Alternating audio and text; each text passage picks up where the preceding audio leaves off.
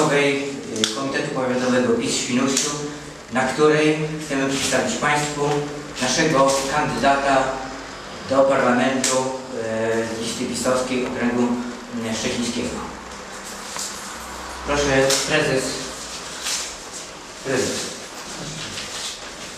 Proszę Państwa, przez dłuższy czas trwały dyskusje, rozważania, y, kogo Świnoujski PiS z poparciem oczywiście Zarządu Okręgowego wystawi jako kandydata na listy pisowskie.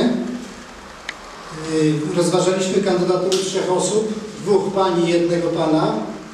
Po wielu rozważaniach przeważyła i to zdecydowanie kandydatura pani, pani Aleksandry Namyślak, która za zgodą Zarządu Miejskiego PiSu w Świnoujściu, jak również za zgodą Zarządu Okręgowego w Szczecinie została oficjalnym kandydatem. Jeszcze raz powtarzam, naszym kandydatem jest pani Aleksandra Namyślak. Proszę bardzo. pani Mirek. Zapraszamy, ale kilka słów o merytorycznym przygotowaniu kandydata. pani, Sekretarz komitetu. nim pani Aleksandra zabierze głos, krótka charakterystyka jej y, doświadczeń oraz wykształcenia. Jest tak szeroki wachlarz, że muszę się posiłkować kartą. A więc pani Ola Namyślak ukończyła na Uniwersytecie Szczecińskim Finanse i Zarządzanie Administracją, a także kończyła studia podyplomowe, dwa kierunki. Prawo pracy i ubezpieczeń społecznych na Zachodniej Pomorskiej Szkole Biznesu oraz Europrojekt na Uniwersytecie, Uniwersytecie Szczecińskim czyli pozyskiwanie funduszy europejskich oraz zarządzanie.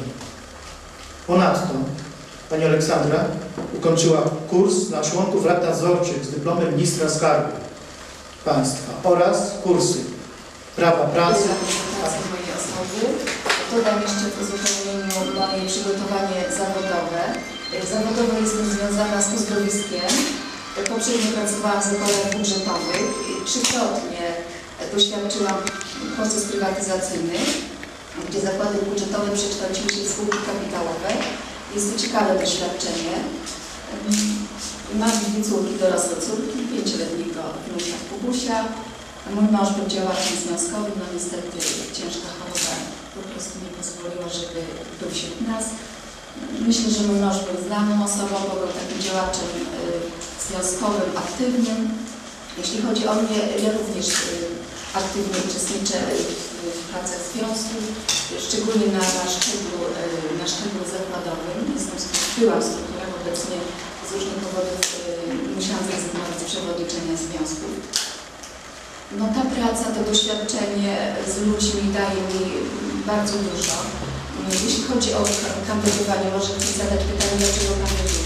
Kandyduję, bo znam problemy, znam problemy Świnoujścia, znam problemy kraju, o które zamierzam walczyć. Y, Kandyduję, bo uzyskałam rekomendacje y, Prawa i Sprawiedliwości. Dziękuję za, za piękną prezentację. To też zobowiązuje do jeszcze większej pracy, większego wysiłku. Mam doświadczenie, mam, uważam, że mam przygotowanie merytoryczne. Chciałabym wykorzystać.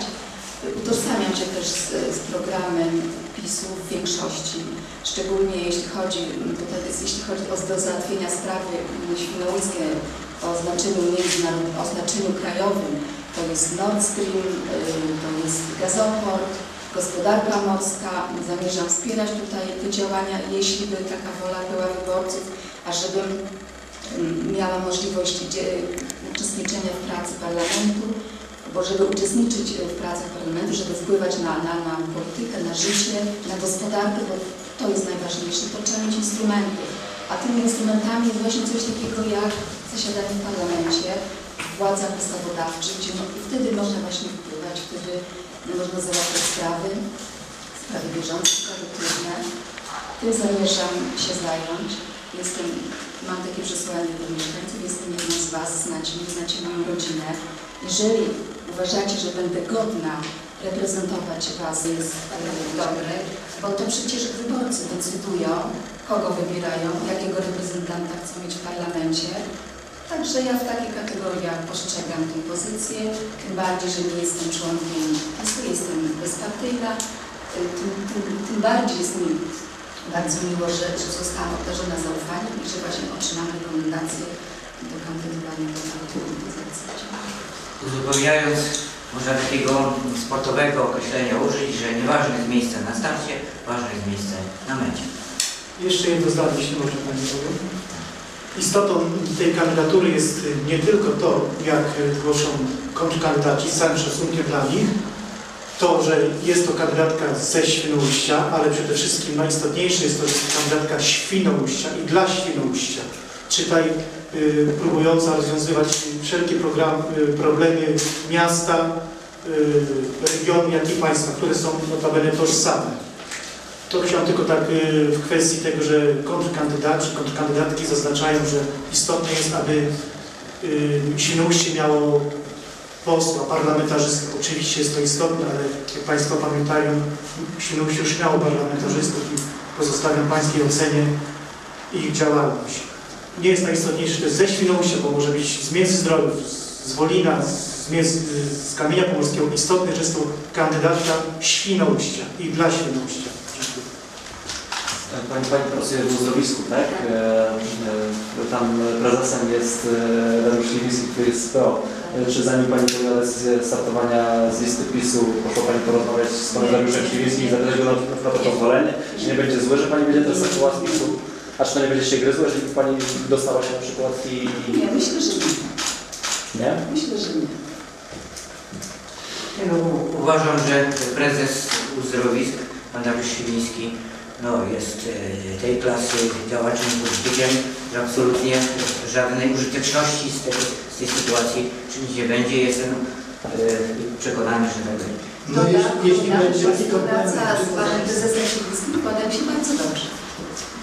Poza tym też To jest bardzo ważne. Cieszę się, że właśnie jest parytet, gdzie odpowiednia ilość kobiet y, będzie prowadzona do parlamentu. Kobiety z natury y, mają usposobienie łagodniejsze i myślę, że większa ilość kobiet w parlamencie złagodzi te takie właśnie niefajne sprawy, niefajne takie dyskusje. W ogóle Nie może być tak, żeby ktokolwiek z tej debaty był wykluczony.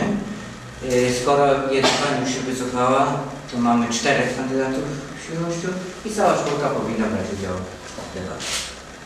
Wówczas miałyby one właściwy wymiar, ponieważ mieszkańcy poznaliby wszystkich stąd startujących i dokonali rozeznania, kto jest wart wsparcia.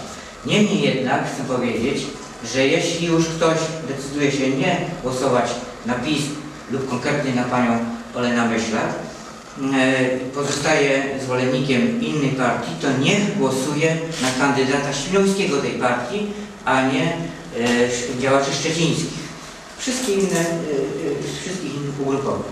Bo jeśli już ma być ktoś nie od nas e, posłem, to niech jest przynajmniej ze Świnoujścia, a nie skądinąd.